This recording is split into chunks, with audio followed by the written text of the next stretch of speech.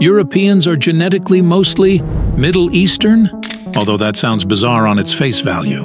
This isn't that much of a secret. See, Europe was populated in different waves, with the first wave being that of the Western hunter-gatherers who looked like this. However, the wave that came after them was the most important wave and transformed Europe genetically forever.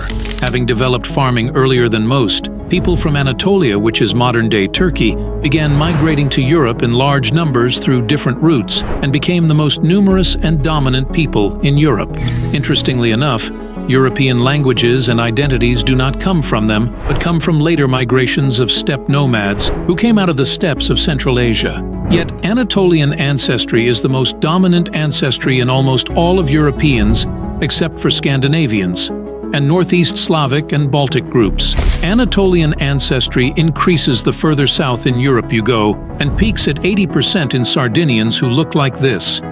This is also why many people comment on the fact taught Southern Europeans seem to resemble people from the Middle East.